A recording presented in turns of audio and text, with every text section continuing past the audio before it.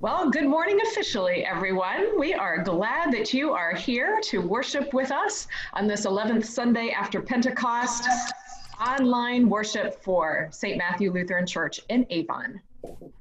I'd like to say a special thank you to those who are serving with us today, Kathy Alsgaard, Sarah Lindquist, and Meg Kraft. If you are interested in participating, reading a lesson, or helping with our prayers, we invite you to reach out to us. We'd love to incorporate you. If you are new to our online worship experience or new to St. Matthew in general, we invite you to check out our website, which you will see there printed on the screen, stmatthewavon.org. And you can click on the send me an email for your online opportunities, and then we can be in touch with you. Or you can simply send us a message through the website, and we will be in touch with you. We welcome you to our community. I invite you at any time to leave your prayers in the chat. If you click on that button at the bottom that looks like a speech bubble, you can leave your prayers there and we will pray them during the time of intercession a little bit later in the service. Last week we had our first discussion group on Thursday evening at 7 p.m. on the topic of white privilege. We will include what we discussed in the email that goes out tomorrow about that class. And we would like for you to join us, even if you weren't with us last week. So please check out the Monday opportunities email, um, and you will be able to find the ways to access that class or just simply reach out to us. I'm just going to check and make sure everyone can hear me. If you can, give me a thumbs up. Okay, that's good. I'd like you to know that council is meeting this week. It was rescheduled from the week of the power outage, and this is the time when we will consider the recommendations from the reopening task force. So the congregation can expect some kind of message about our reopening process in the coming week or two. So be patient, it is coming and all within good time. We are eager to be able to communicate whatever decisions are made Monday evening at the council. With all those things done before us, I invite you to prepare yourself for worship.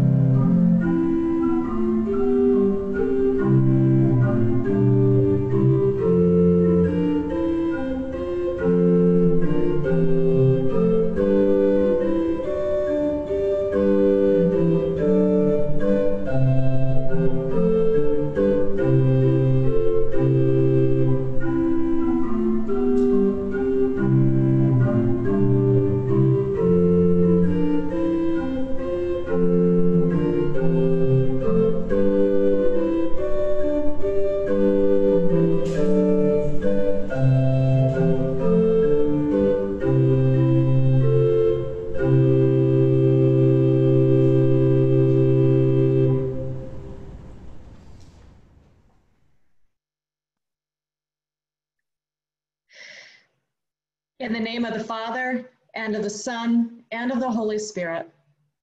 Amen. Almighty God, to whom all hearts are open, all desires known, and from whom no secrets are hid, cleanse the thoughts of our hearts by the inspiration of your Holy Spirit, that we may perfectly love you and worthily magnify your holy name, through Jesus Christ our Lord. Amen. Let us confess our sin in the presence of God and of one another.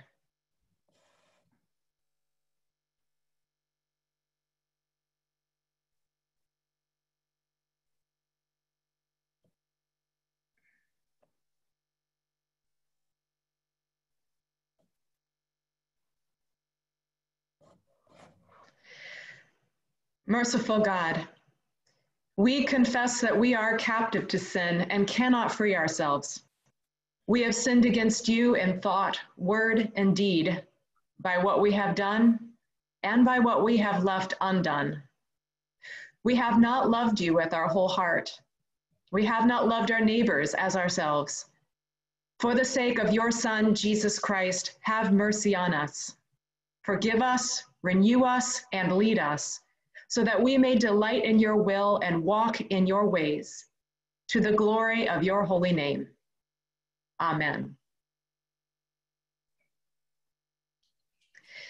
In the mercy of Almighty God, Jesus Christ was given to die for us, and for his sake, God forgives us all our sins. As a called and ordained minister of the Church of Christ, and by Christ's authority, I therefore declare to you the entire forgiveness of all your sins in the name of the Father, and the Son, and the Holy Spirit. Amen. Please join in singing our opening hymn.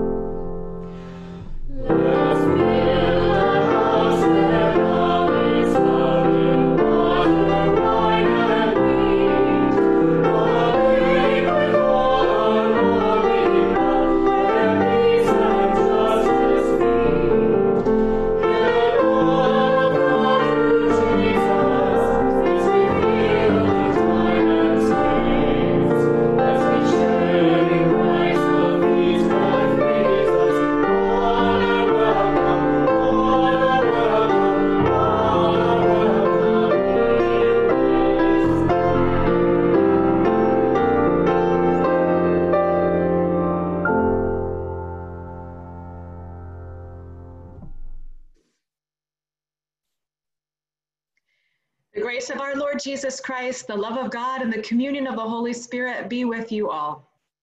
And also, and also with you.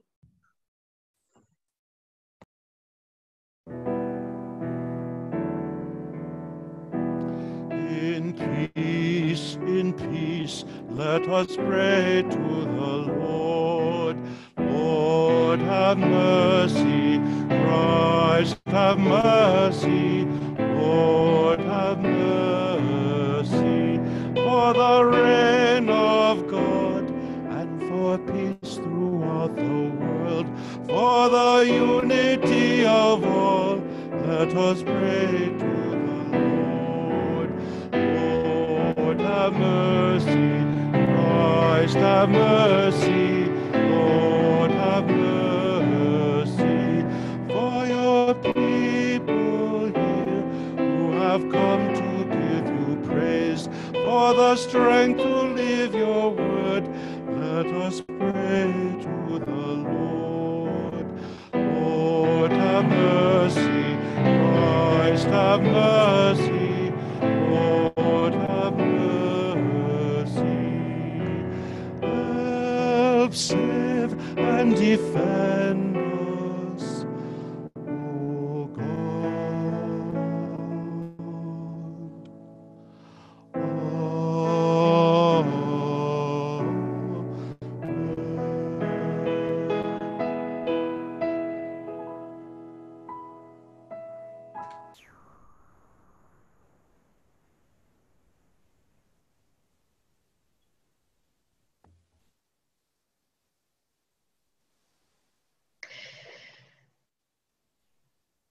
Let us pray. God of all the peoples, your arms reach out to embrace all those who call upon you. Teach us as disciples of your Son to love the world with compassion and constancy, that your name may be known throughout the earth. Through Jesus Christ, our Savior and Lord. Amen.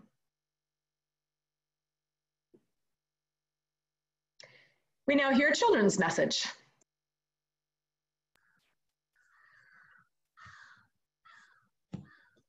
Hi, everyone. I have a question for you. Do you think Jesus came to help everyone or just a certain group of people? Uh, it may sound like a silly question. Of course, Jesus came to help everyone and loves everyone and wants to redeem everyone. But when he was starting out in his ministry, some of his disciples thought he should only help the people of Israel, his own country's people. It'd be like me saying that God only cares about Americans or something along those lines. And perhaps even Jesus may have felt that way about the nation of Israel at first. But then there's an encounter with a Canaanite woman that we'll hear about today. They were the longtime enemy of the people of Israel. And Jesus doesn't help her at first, but then after seeing how much she trusted and believed in Jesus' love and power to heal her daughter, Jesus said how great her faith was. And her daughter was healed immediately. He may have wanted to help the woman grow in her faith, or he may have wanted to teach his disciples more about his mission, or perhaps a little bit of both. This story shows us that Jesus didn't come to just help his own country's people. We learn that Jesus helps, saves, and redeems all people, no matter what their race, nationality, color, or creed. Jesus loves us and people who are like us, and Jesus loves us and people who are different from us. And just like he taught his disciples to care about people from other countries and races and religions, he inspires us to be in relationship with people who are different from us too. God loves all people, and thanks be to God for that. We now continue with our reading from Scripture.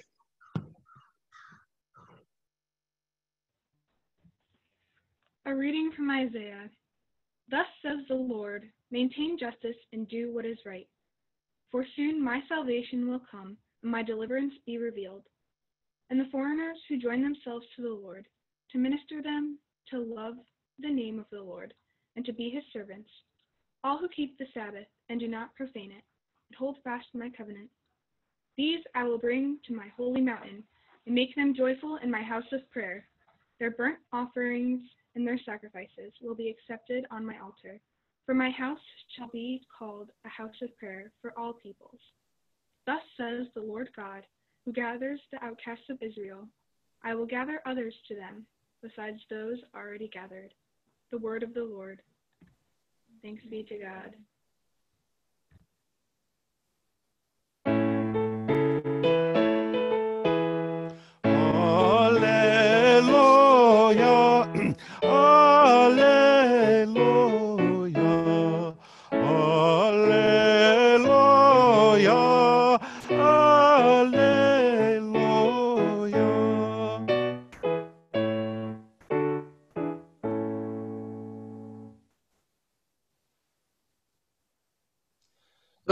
Gospel according to Matthew. Glory to you, O Lord. Jesus called the crowd to him and said to them, Listen and understand. It is not what goes into the mouth that defiles a person, but it is what comes out of the mouth that defiles.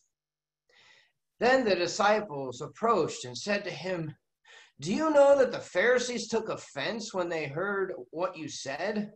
He answered, Every plant that my heavenly Father has not planted will be uprooted. Let them alone.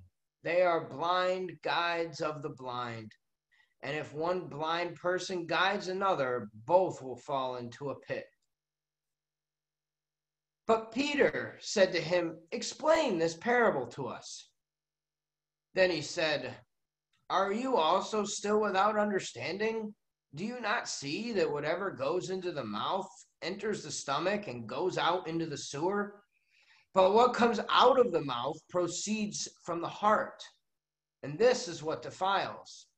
For out of the heart come evil intentions, murder, adultery, fornication, theft, false witness, slander. These are what defile a person. But to eat with unwashed hands does not defile. Jesus left that place and went away to the district of Tyre and Sidon. Just then, a Canaanite woman from that region came out and started shouting, Have mercy on me, Lord, son of David. My daughter is tormented by a demon. But he did not answer her at all. And his disciples came and urged him, saying, Send her away, for she keeps shouting after us. He answered, I was sent only to the lost sheep of the house of Israel. But she came and knelt before him, saying, Lord, help me. He answered, It is not fair to take the children's food and throw it to the dogs. She said, Yes, Lord, yet even the dogs eat the crumbs that fall from their master's table. Then Jesus answered her, Woman, great is your faith. Let it be done for you as you wish.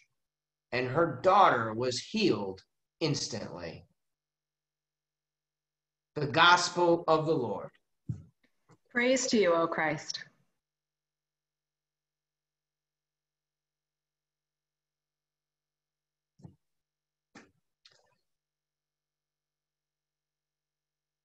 Close your eyes for a moment.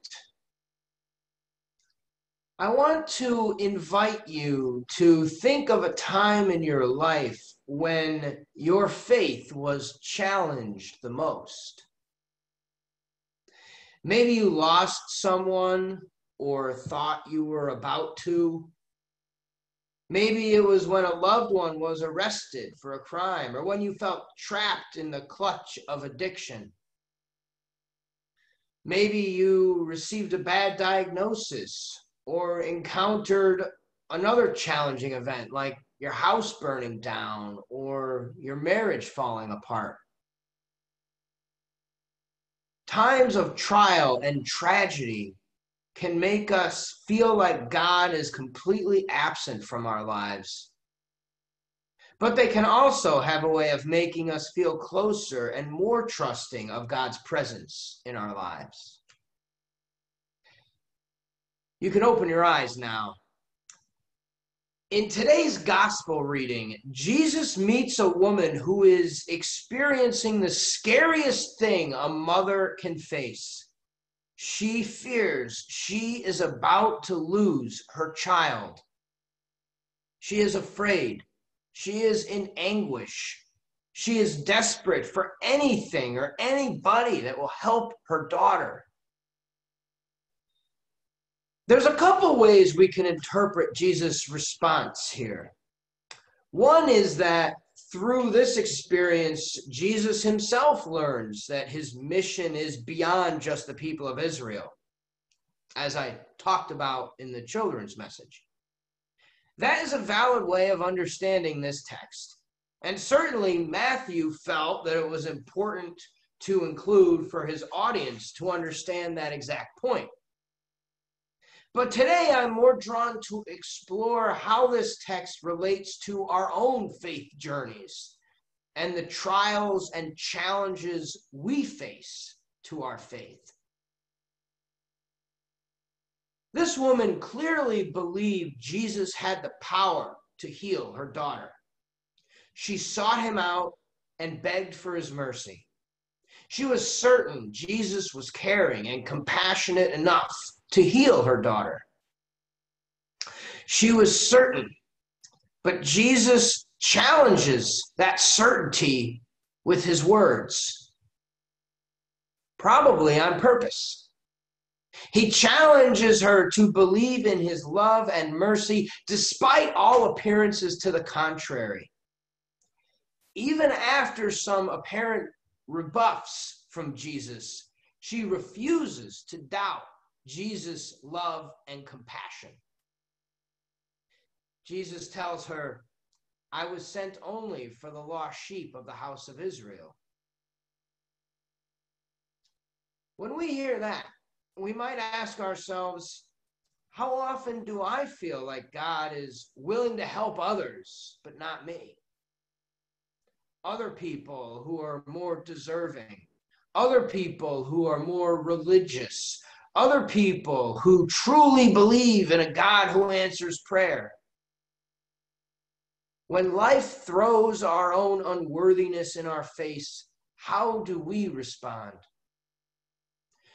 Do we doubt God's willingness to help us?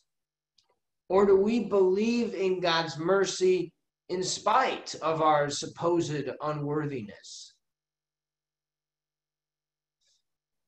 The woman simply responds, Lord, help me. And Jesus says, It is not fair to take the children's food and throw it to the dogs. Here, Jesus sounds like he's insulting her. He sounds prejudiced against Canaanites, Israel's longtime enemy. How often do we feel like we are not God's children? Like God doesn't care about us? How often do life's messages tell us that we're not important, not lovable, not deserving? Imagine hearing these words from Jesus Christ Himself. Would that make you doubt God's love for you? Probably would for me. Yet this woman says, Yes, Lord, yet even the dogs eat the crumbs that fall from their master's table. Jesus was incredibly impressed and says, Great is your faith. And her daughter was healed instantly. That is the kind of faith that can move mountains. That refusal to give up hope, to give in to anger or doubt, that humility and trust and belief in Jesus' love that she has is absolutely unstoppable. She has unconditional faith. We hear a lot about unconditional love. This is unconditional faith. faith that doesn't depend on any conditions being met, faith that doesn't need any signs or reasons to trust, faith that did not need words of comfort, faith that refused to doubt God's love for her in spite of everything she experienced. And after this great trial of faith, her prayer was answered and her daughter was healed. This is more than just a healing story, it is a model for our lives. Life has a way of constantly challenging our faith, tempting us to doubt God's love for us.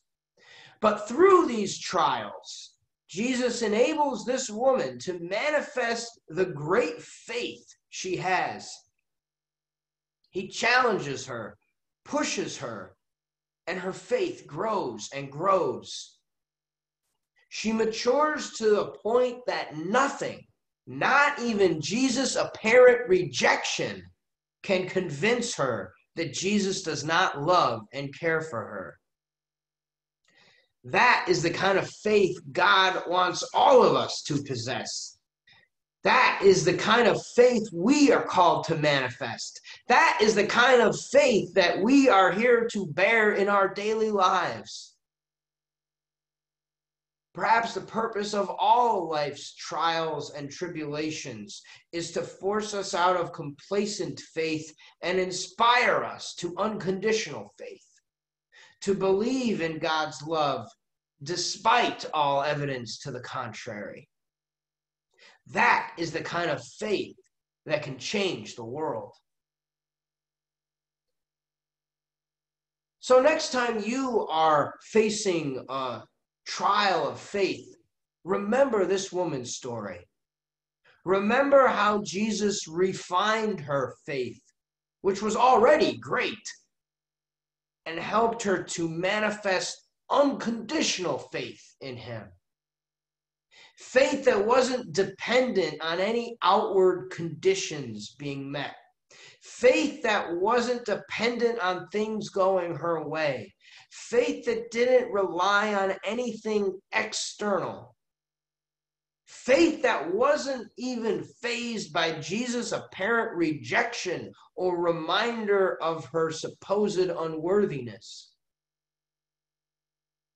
I pray we all might manifest unconditional faith in our lives. It can be hard to have faith sometimes. But understand that it is a journey. Trials of faith are periods of pruning and growth. Trust that in those times of trial, God is at work refining you, refining your heart, and helping you grow. Trust because the good news is that God uses even the feeling of God's absence to help us grow closer to Him and deepen our trust in His love for us. Thanks be to God for this gift of faith and for the promise that one day we will no longer need faith because we will see God face to face. Until then, we trust, we believe, we have faith. Amen. Amen.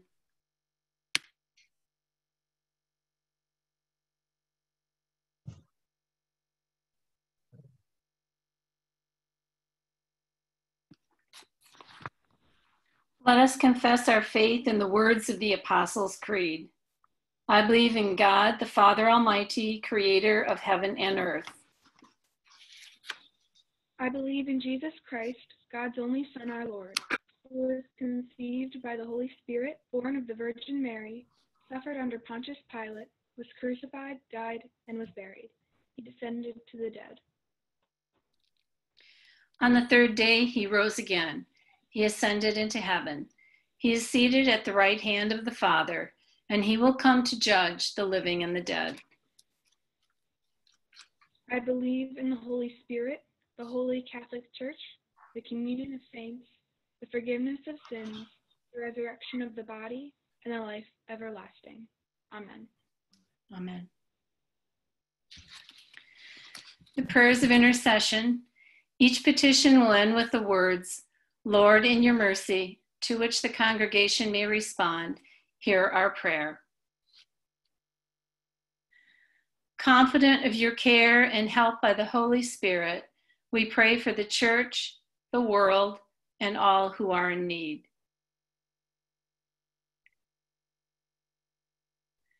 Lord, you gather the church to be part of your mission as ambassadors of Jesus Christ. As Jesus acknowledged the great faith of a woman from outside his people, help your church discover and find blessing in the faith of people we might reject. Lord, in your mercy, hear our prayer. You have blessed us with the bounty of the earth. Grant your grace to all your creatures, and earth will flourish. Relieve waters choked by garbage, renew soils stripped of nutrients, and refresh the air all creatures need to live. Lord, in your mercy, hear our prayer.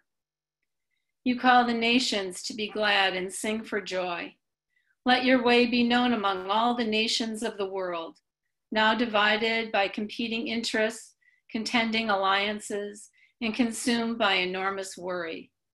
Bless us and make your face shine upon all. Lord, in your mercy, hear our prayer. You show unexpected mercy, kindness, and generosity.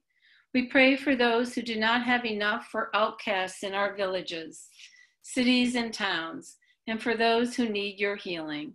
Especially this day, we pray for Canon Hinton's family and all who have lost loved ones in gun violence. For all those planning to return to school, including returning college students and their families. Dick and Judy Kraft, for nursing home residents and workers and their families, for the people of Lebanon, Sue Young and her family, and Dorothy Jensen. Lord, in your mercy, hear our prayer. In you we live and move and have our being. Grant our congregation, St. Matthew Lutheran Church, grace to find our life refreshed in you. Accompany us in the rhythms of late summer. Give us rest and renewal, and strengthen us for mission in your name. Lord, in your mercy, hear our prayer. Your eternal promises are more than we could ever imagine.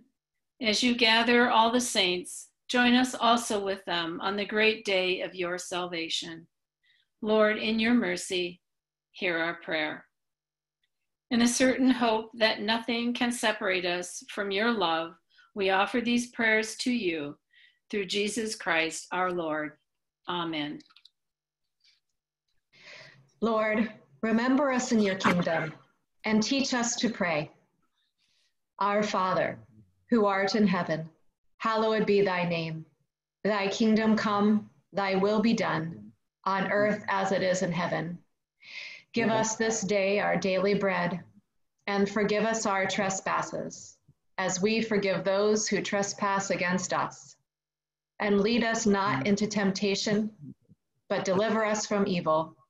For thine is the kingdom, and the power, and the glory, forever and ever. Amen. Receive this blessing.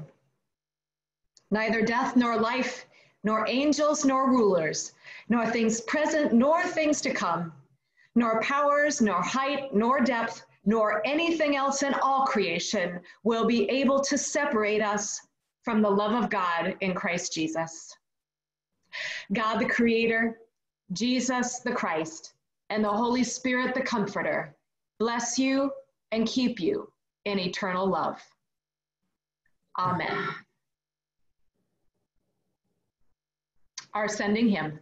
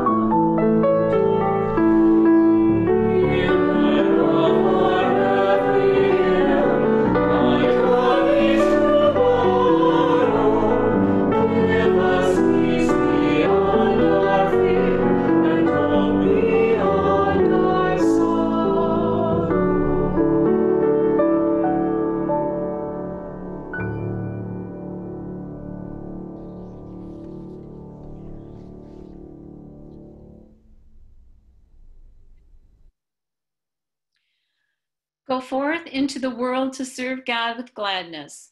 Be of good courage. Hold fast to that which is good. Render to no one evil for evil. Strengthen the faint hearted. Support the weak. Help the afflicted. Honor all people. Love and serve God, rejoicing in the power of the Holy Spirit. Thanks, Thanks be be to be God. to God.